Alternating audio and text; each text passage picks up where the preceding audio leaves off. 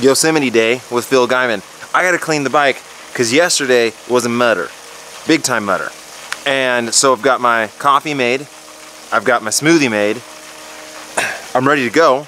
Uh, we're also, so I'm trying to film this individual video of me taking him to Yosemite, but I'm also trying to help him film his best retirement ever. So there's trying to like two videos in one day sort of thing, but I'm tr trying to lean towards more of like his video. So we'll see what uh, what kind of story we can tell here. But so far, this is day three. Day one, we rode in the fog and the snow, and I forgot my gloves and I wore socks on my hands.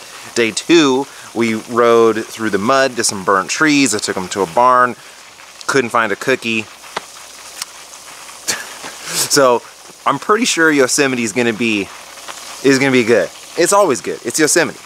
Let's go.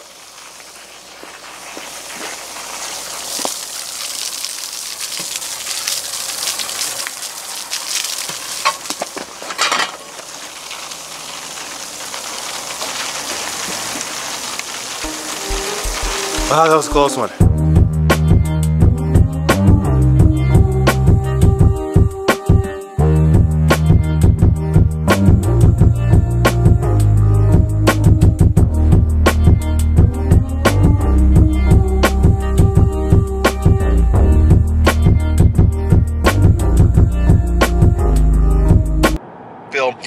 We uh, headed into Yosemite. Um, because Yosemite is the go-to the go-to ride. This is this is day three of the Phil extravaganza, and uh, collab. yeah, the collab. Um, I would say the weather looks amazing. Um, Yosemite is going to be. I don't think there's going to be a lot of people here because it's kind of off season. Right. So I'm really excited. But we've had some rain, so the waterfalls on point. We uh, we dilly dallied quite a bit at his little cabin, doing some some videos for the intro and some other stuff that he's he's trying to do. He's gonna be a YouTube star. Casey Neistat, watch out. Phil Phil's coming for you, man. He's gonna he's gonna take you down. Who's that? Who's who's Casey? Uh, so yeah, I'm excited. Uh, this is be sweet. This is gonna be sweet. No burnt trees this time.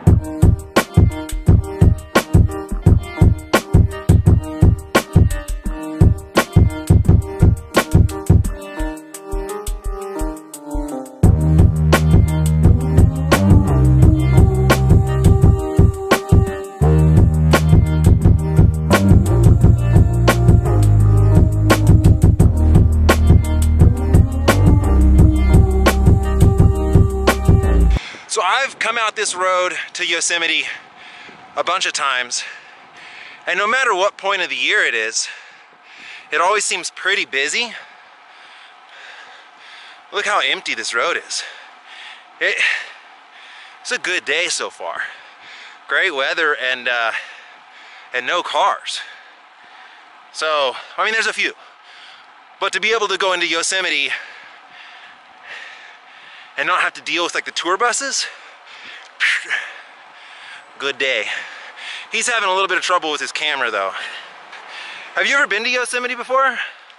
Just- As a kid, I went here with my parents at some point, but it doesn't count if you're a kid, you know? Your memory as a kid sucks. yeah, I was in the back seat of like a rental car. Not like this.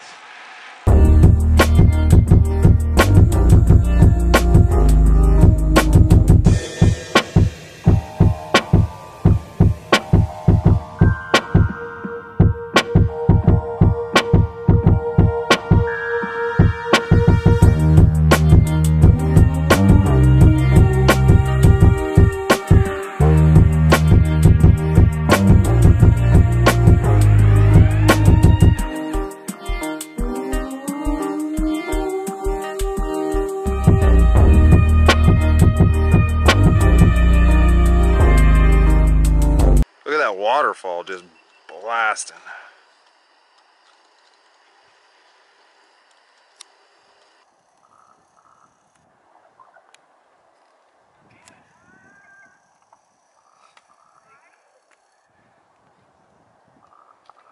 So what's your uh, first initial impression of this view coming out of that tunnel? It's completely insane. It looks fake. It looks like we're on a green screen and that's like a that's real. That's real water and then the snow, the sky. it's insane. Right? Yeah, it's so good. What's crazy is there's usually tunnel view is packed with Yeah. people. Just all these people. No people. I I mean, the season for Yosemite is about done. Like probably in the next couple weeks, they'll probably close this road for snow. So we we lucked out, man. Yeah, this makes you want to just write poetry or something. You know? yeah. Taking the scenery, snap some pics. It was awesome. But on the way into Yosemite, it was very warm. But holy smokes, on the backside of the mountain, and once we got down into the Yosemite Valley, ooh, it was maybe 28 degrees. 28, 30 degrees. It was really cold. It got cold quick. But since it's sort of off season, man, there was no one there. We had the roads almost to ourselves. I took them through this little uh, bike lane area where there are no cars. It was so beautiful because again, Yosemite is one of those things where it's amazing. It's beyond amazing. It's it's a life-changing experience. But when there's tons of tourists, kind of ruins it. So we're cruising around. We go and we stop for at the little grocery store thing that they have there to get some food and kind of um, take a little regroup. And then someone was telling us there was a nice coffee shop. By the way, I'd actually never been to this coffee shop. I've never see it. It's really hard to see it where you ride. So I never knew it was there. We hang out by the fire, chat, have some coffee, and get prepared to climb out of the valley. We get to a spot where when Chris Miller came, I tried to lead him out for a KOM, but the Strava messed up. So then I kind of dipped out a little wider and went for the KOM, hoping that Phil would just hang out on my rear wheel because my full-on max VO2 max effort is probably his zone 3. I was hoping to get some cool footage, but again, like I said, Phil doesn't burn any matches he doesn't need to. It- it- he's not going to pedal in anger uh, if there's no reason. So he just cruised. And I smashed up. I snagged the KOM to King. We uh, went through the tunnel and back up.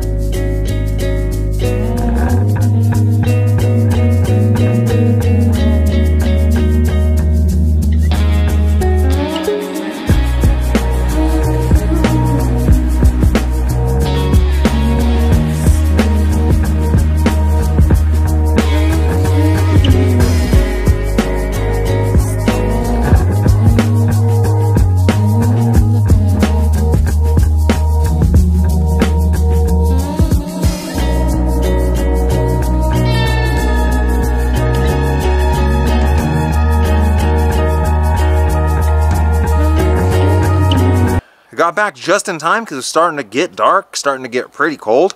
But for the most part, that Yosemite ride, because no one was there, was phenomenal. It was it was was good stuff. He dug it.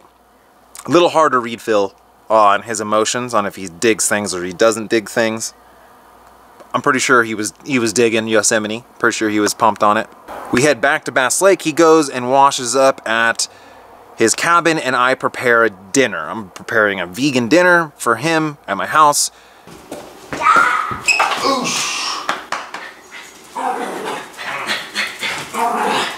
Give me a smoocher.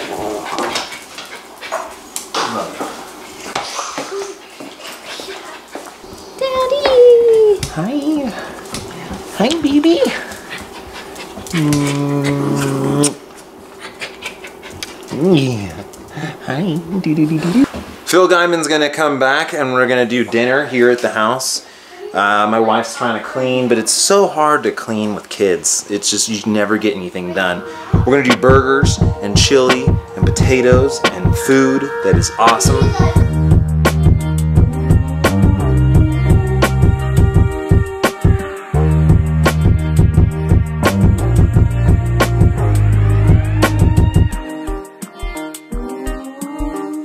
So he comes over, he meets the family, and we did burgers and chili and veggies and potatoes, and he smashed it. He smashed it all, so I think he liked it. It was good. It was good. I, I enjoyed it. Also, since we were not able to get him a cookie on the trip, my wife made him vegan chocolate chip cookies. Oh yeah. Mm-hmm. It's good hot. It's all melty. It was getting late and he was gonna leave pretty early in the morning on Saturday, but he was gonna do one last climb. Um, so we parted ways after an amazing killer Yosemite day and great dinner. I got ready for Saturday.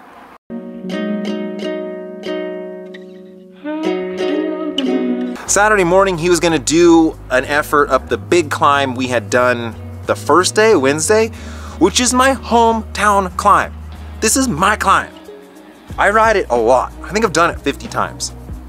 And the KOM on it was an hour and four minutes or hour and three minutes, something of that sort, which is blazing. My fastest time was six minutes.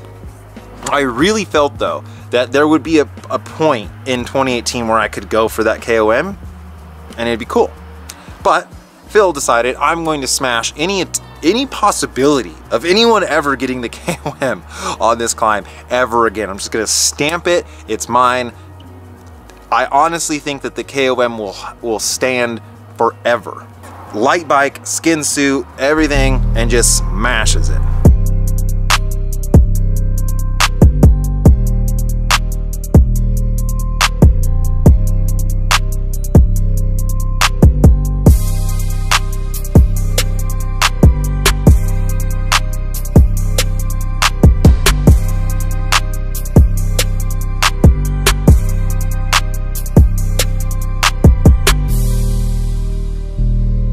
Again, for me, the, the climb was an hour and six minutes, and I'm looking at, and the KOM is an hour and four.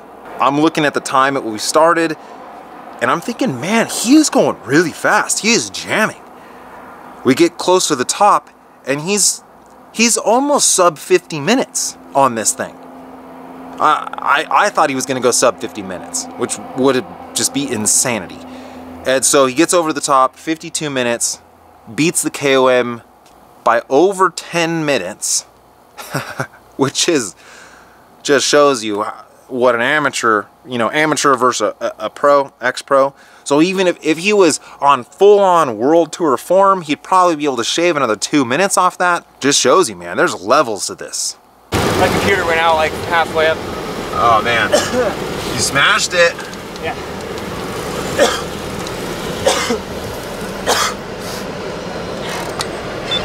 How'd you feel? Pretty good. Like I paced it alright, but I didn't know where I was when this thing stopped.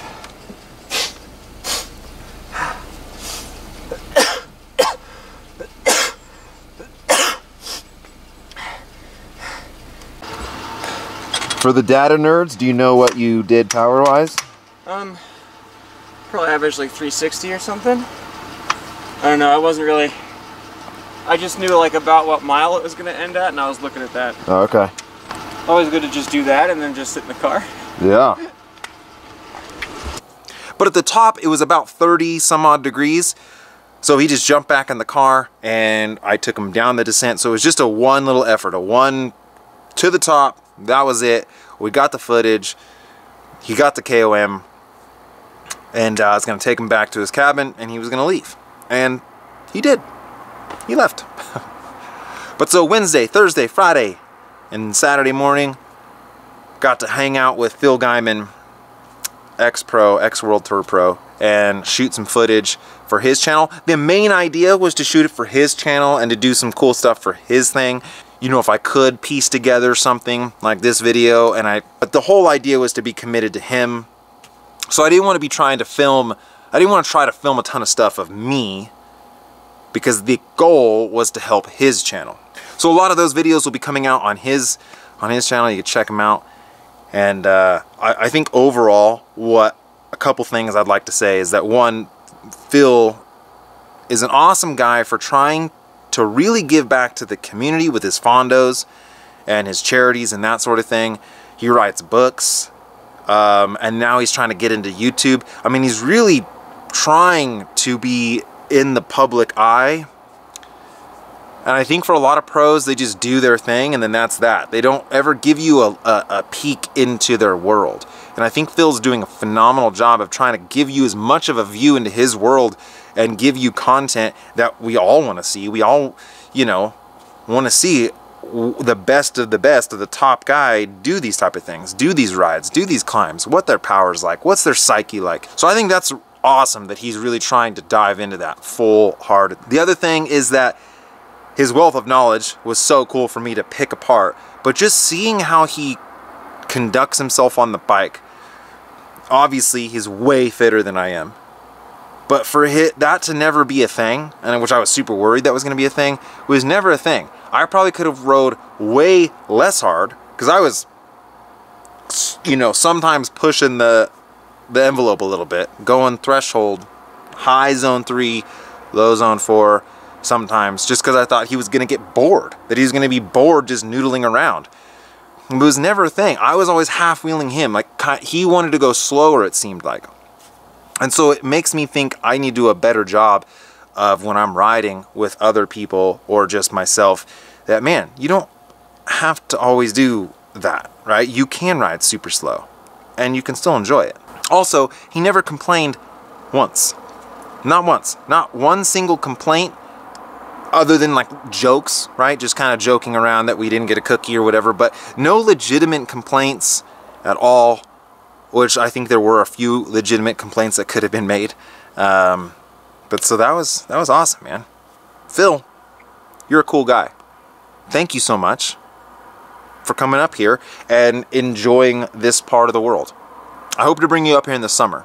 It's way better in the summer. And to you, the subscriber who made this happen because you commented on Phil Gaimon's videos and it made him reach out to me.